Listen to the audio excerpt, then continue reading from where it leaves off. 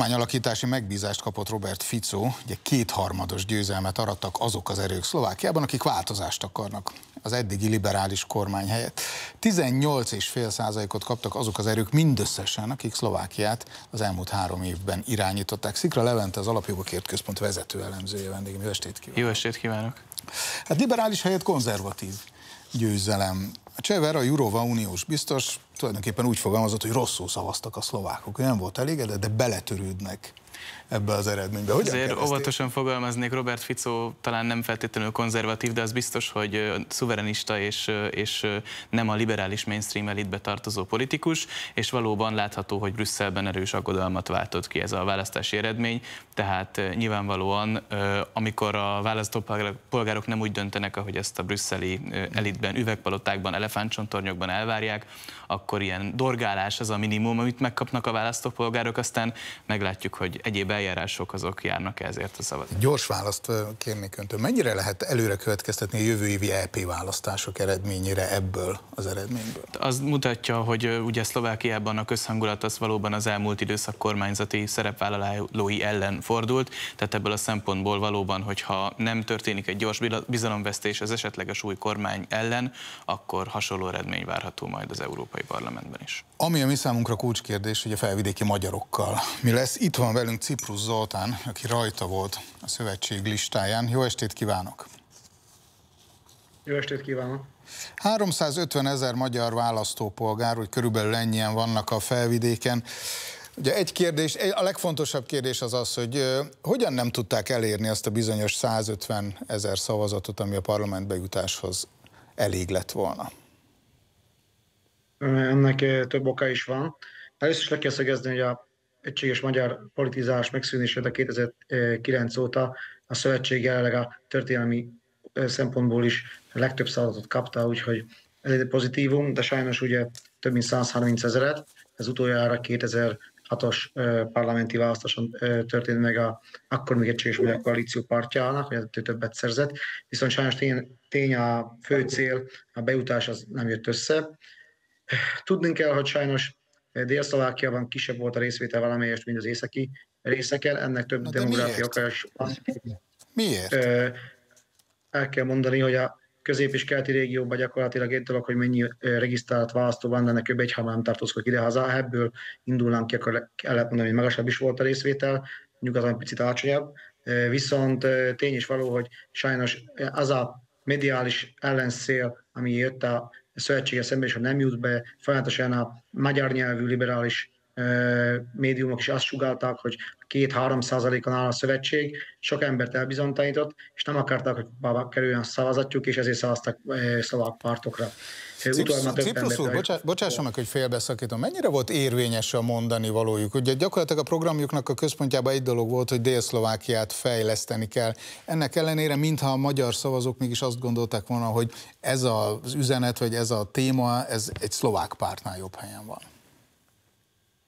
Szerintem ezzel egyet is értek a választó, de még egyszer hogy nagyon problémát ott látom, hogy azt gondolták, hogy elveszik a szavazatjuk, és ezért, és nincs magyar egység, ezt is próbáltak hangoztatni, ha ott két mikropárt indult, amik egyik sértelmén 0,5%-ot sem 0,3 alatt végeztek.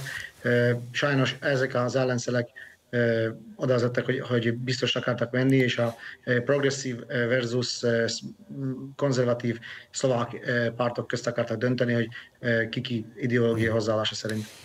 Azon elgondolkodtak esetleg, hogy lehet, hogy több nemzeti mondani valót kellett volna belefoglalni az önök programjába? Magyarabbnak lenni?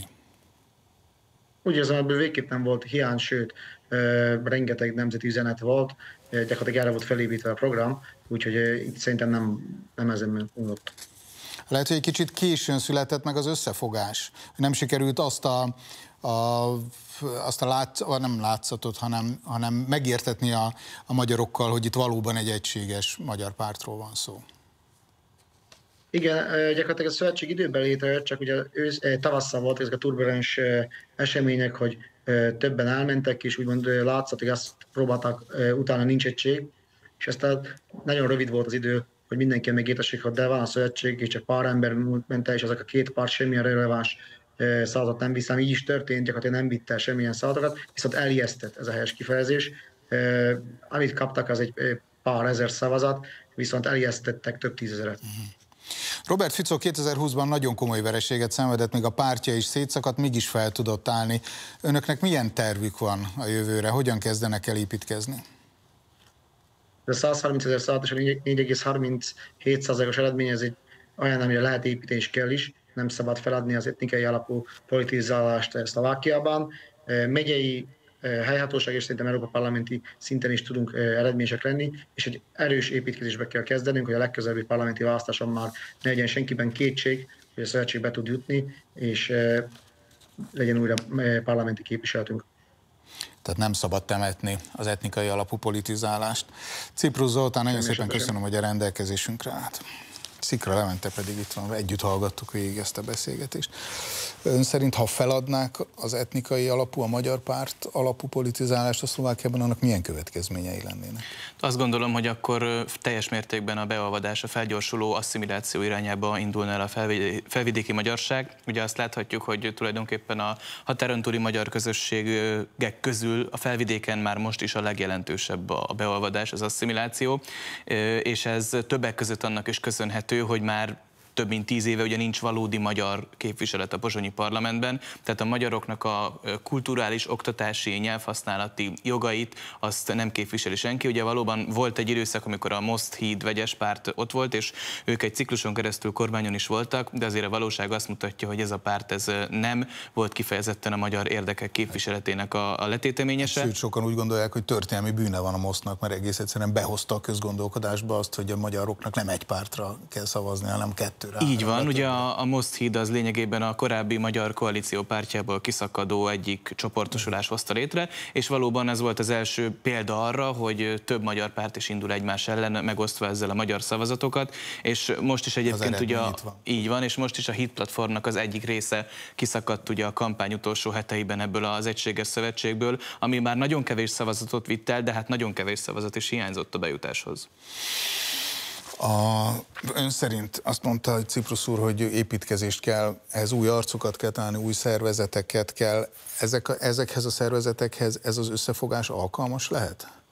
Vagy valami újfajta struktúrára lenne szükség? Én azt gondolom, hogy az egységes pártnak a megőrzése az nagyon fontos. Ez a nulladik számú lépés ahhoz, hogy a jövőben hmm. valóban legyen mire építeni, és azt gondolom, hogy a szövetségnek a, azt kell megmutatnia, hogy képes valóban integratív erővel az összes magyar ember képviseletét, az összes felvidéki magyar képviseletét Pozsonyba vinni, tehát be kell bizonyítani azt, és el kell hitetnie az, abból a szempontból is ezt a magyar választópolgárokkal, hogy mozgósítólag is hasson ez az esély, mert ugye valóban az elhangzott, hogy hogy alacsonyabb volt a részvétel a magyar lakta területeken, mint a szlovákok által lakott területeken, már pedig éppen fordítva kellene lennie annak, e, ennek ahhoz, hogy biztosított legyen a bejutás.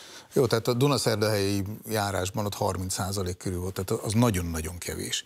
Ami azt egyrészt jó hír, mert van tartalék, lehet hova nyúlni, csak mozgósítani kell ügyesen, másrészt nagyon rossz üzenete van neki, hogy hát ha a felvidéki magyaroknak nem fontos a saját sorsa, akkor kifoglalkozom velük, hanem Persze azért ez talán túlzó kijelentés, hogy nem fontos a saját sorsuk, de az talán lehetséges kijelenteni, hogy nem feltétlenül bíztak abban, hogy a szövetség képes lesz képviselni az érdekeiket, illetve még egy szempont van, hogy azért voltak olyan magyarok is, akik szlovák pártokra szavaztak.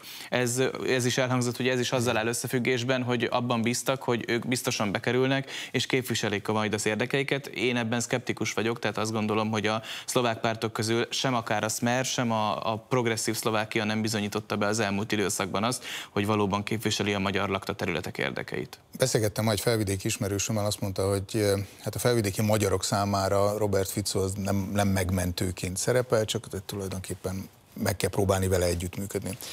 Arra, hogy Robert Fico és Orbán Viktor együtt tudjon működni, akár közös ügyek mentén, mondjuk például a béke projekt tekintetében, arra mekkora esélyt látnak önök? Én azt gondolom, hogy valóban az fontos kijelenteni, hogy a Robert Fico az semmiképp sem egy megváltó, hanem a kisebbik rossz a jelenlegi szlovák politikai kínálatból. Az elmúlt időszakból, amikor Robert Fico kormányon volt, akkor stabilabb volt a szlovák belpolitikai helyzetkép, és ugye a másik fontos körülmény, hogy akkor a magyar kormányjal és úgy általában a vizsegrádi négyekkel is sokkal stabilabb volt az együttműködés. Tehát azt jelenthetjük ki, hogy a, hogyha mondjuk a migrációról beszélünk, vagy épp valóban a háborúról és a háborúhoz való európai hozzáállásról beszélünk, akkor ezek olyan szempontok, amelyekben az új, onnan felálló szlovák kormány az valószínűleg közelebb fog állni a magyar kormányhoz, mint az elődje.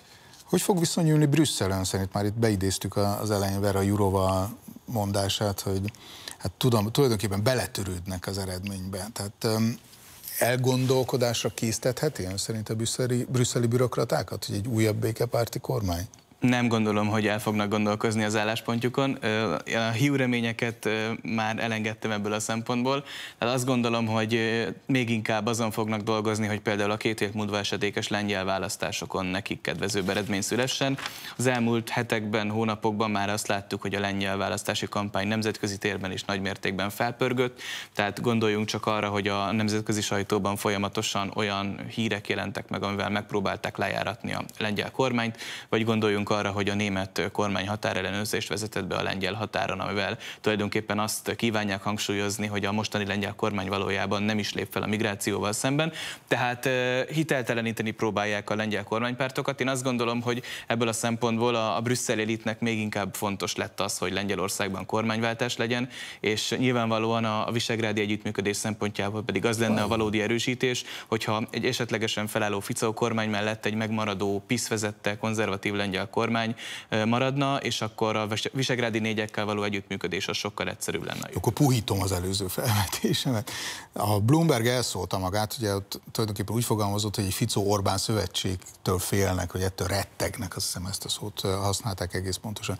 Tehát szélesíti akkor mindenképpen a béketábort, vagy a béké, ukrán-orosz háborúban a békére törekvő tábort Robert Fico kormány alakítása, ezt kijelenthetjük. Ezt nyugodtan kijelenthetjük, hiszen valóban Robert Fico korábban is, és most a választások után is megerősítette azt, hogy ő a fegyverszállításokat leszeretné állítani, és azt szeretné, hogyha a béke irányába mozdulna el a, az európai álláspontnak is a, a hozzáállása. Valóban azért ebből a szempontból még azt várjuk meg, hogy pontosan milyen koalíció fog felállni. Ugye a potenciális partnere az a Hlász ugye Peter Pellegrini vezette Hlász, amely pont a Smerből szakadt ki még a 2020-as választások után. A Hlász az némileg Brüsszel pártibb, tehát némileg nyugatosabb irányvonalat képvisel, mint a Smer, tehát a kettő párt közötti egyességnek is kérdése, hogy pontosan milyen külpolitikai álláspontot vesz majd fel az új kormány, de a vezető kormánypártnak az álláspontja az egyértelműen a fegyverszállítások leállításáról szól. A szlovák-cseh viszony az hagyományosan jó lehet az, hogy a Ficó kormány megalakulásával a csehek visszatérnek, hogy közelebb jönnek a V4-hez, ugye ők eléggé külön utas álláspontot fogalmaztak meg az elmúlt hónapokban. Hát, hogyha belpolitikailag nézzük, akkor az újonnan felálló szlovák kormány és a most hivatalban lévő cseh kormány között nagy a különbség, tehát azért jelentős ideológiai távolságtartást figyelhetünk meg, de ezzel együtt azért Csehország sem hagyta ott teljes mértékben a, a V4-eket, sőt, hát hivatalosan továbbra is fontosnak tartja. Tagoknak, tehát tagok, igen. azt gondolom, hogy ha ki tudják alakítani a közös álláspontot, például a migrációs paktum tekintetében, az egy lehetséges együttműködési terület, akkor visszatérhet a v az a, az a szerepe, ami ugye a korábbi években is megvolt, hogy bár korábban sem értettek egyet mindenben ezek az országok, de amikor megtalálták a közös érdekképviseletre való teret, akkor együtt tudtak működni. Tehát erre, gondolom, erre azt gondolom, hogy lesz lehetőség a következő időszakban is. Székre Levente, köszönöm szépen. Én is köszönöm.